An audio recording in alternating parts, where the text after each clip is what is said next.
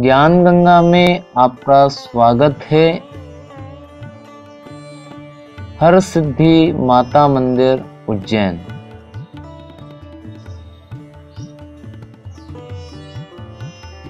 उज्जैन का हर सिद्धि मंदिर माँ भवानी के इक्यावन शक्तिपीठों में से एक है। इस मंदिर को तेरह शक्तिपीठ माना जाता है। हर सिद्धि मंदिर पूर्व में महाकाल और पश्चिम में रामघाट के बीच स्थित है। पौराणिक कथा के अनुसार, दक्ष प्रजापति ने एक विराट यज्ञ का आयोजन किया था, लेकिन उन्होंने अपने जमाता भगवान शिव को और अपनी पुत्री सती को आमंत्रण नहीं भेजा। लेकिन भगवान शिव के मना करने के बावजूद माता सती अपने पिता के यज्ञ में पहुँच गई। दक्ष ने पुत्री के आने पर उपेक्षा का भाव प्रकट किया और भगवान शिव के बारे में अपमानजनक बातें कही। माता सती से यह बर्दाश्त नहीं हुआ और उन्होंने वहीं यज्ञ कुंड में कूद कर अपने प्राण त्याग दिए।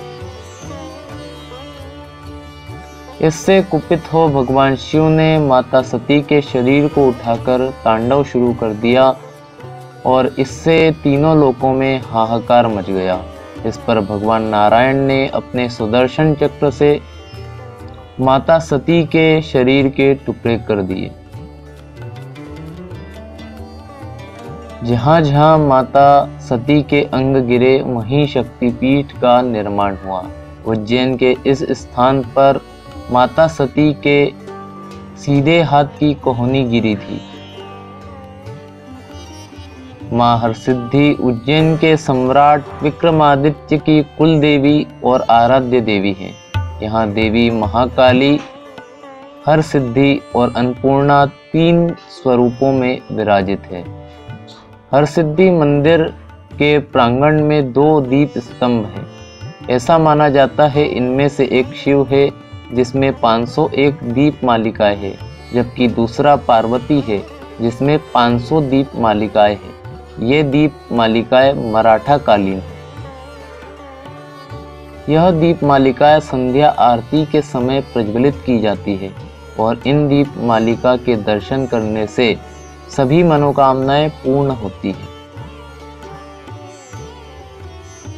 माँ हरसिद्धि के इस मंदिर में एक दिव्य श्री यंत्र बना हुआ है, जिसमें माता के इक्यावन शक्तिपीठ का उल्लेख है। राजा विक्रमादित्य माँ हरसिद्धि के अनन्य भक्त थे।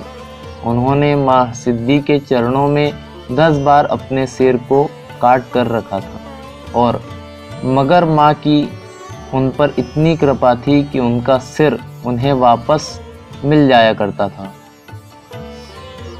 ज्ञान गंगा से जुड़े रहने के लिए ज्ञान गंगा यूट्यूब चैनल को सब्सक्राइब करें। सब्सक्राइब करने के लिए हमारे यूट्यूब चैनल पर यह सब्सक्राइब बटन दिया गया है। इस पर आप क्लिक करिए और सब्सक्राइब करने के बाद आपको एक बेल आइकन नज़र आएगा। ये देखिए, ये बेल आइकन है। इस पर आप क्लिक करेंगे तो आपको हमारे आने वाले वीडियो के नोटिफिकेशन आपके मोबाइल पर सबसे पहले मिल जाएँगे। तो हमारे इस वीडियो को देखने के लिए बहुत बहुत धन्यवाद।